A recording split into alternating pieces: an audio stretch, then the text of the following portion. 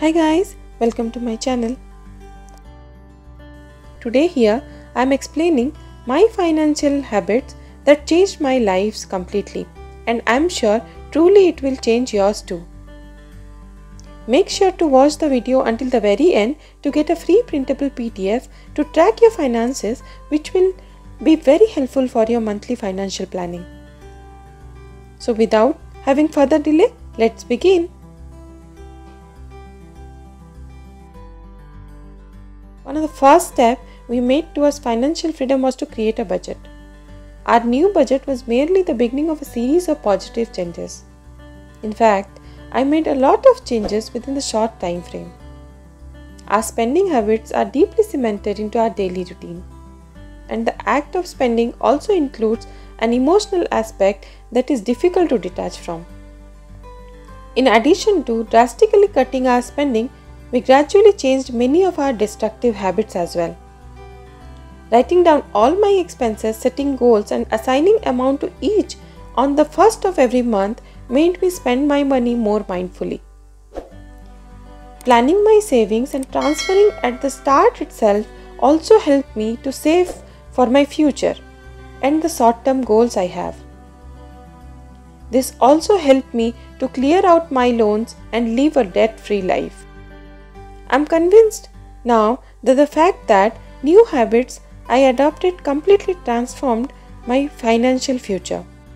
After setting up the budget, which is a monthly plan for spending that takes into account our income and expenses, tracking expenses is essential to keeping us on that budget.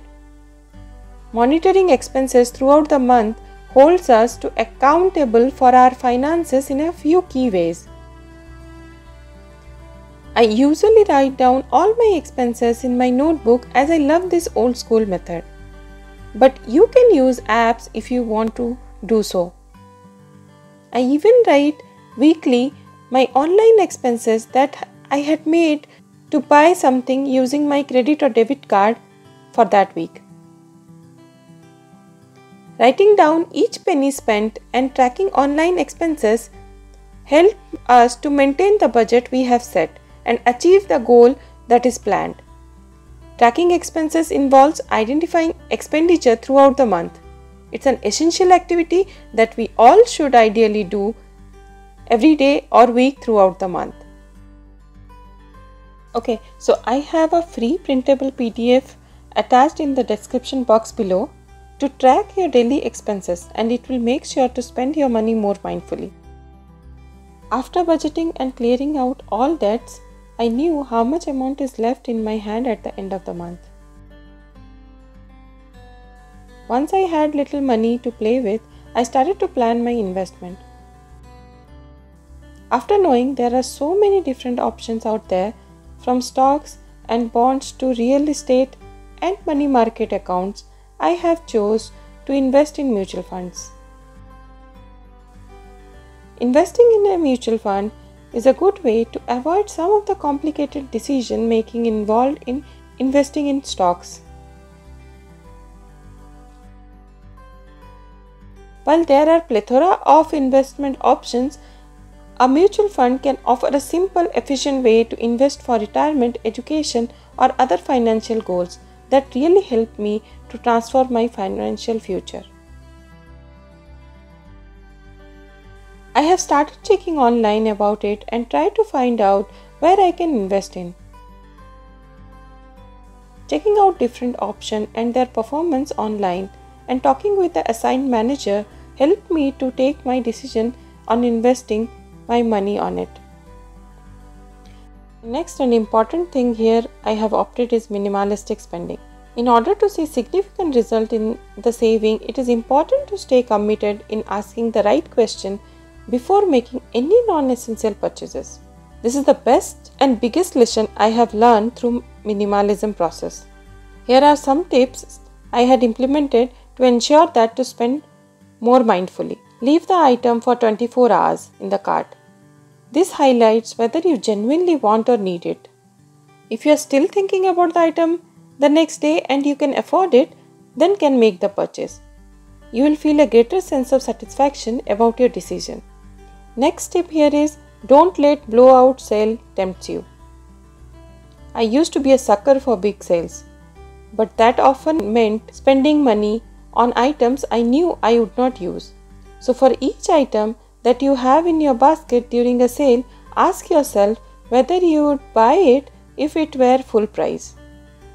Change the environments that cause you to spend.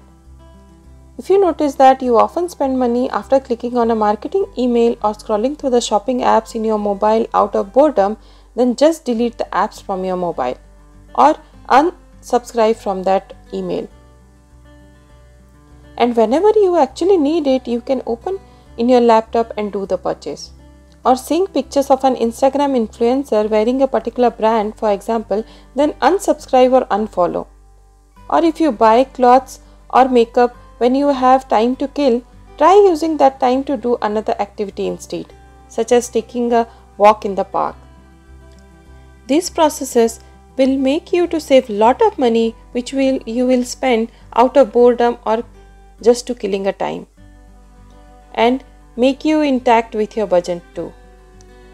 Credit card debt is unconstructed debt and can wreak havoc on finances. Earlier having more than one credit card making me impulse purchase more and more. So, using cash wherever possible and limiting my credit card helped me to stop my impulse buying. These are the steps which really helped me to limit my credit card use. First, keeping one credit card or max two. Second, having less limit on the credit card. Carrying cash while shopping and trying not to use more than 50% of the total credit limit. Educating myself on financial intelligence has helped me to resolve the financial issues I had and taking some smart decision for my future and also staying updated on the financial aspects. Reading finance books and catching up with economic times is the one thing I prefer in my life on a regular basis nowadays.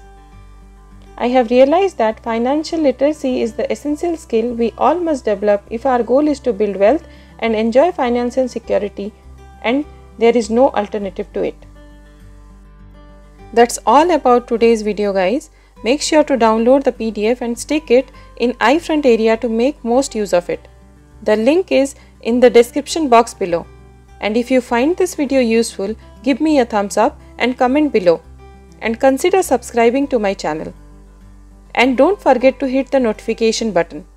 I will see you all in my next video. Until then, bye bye.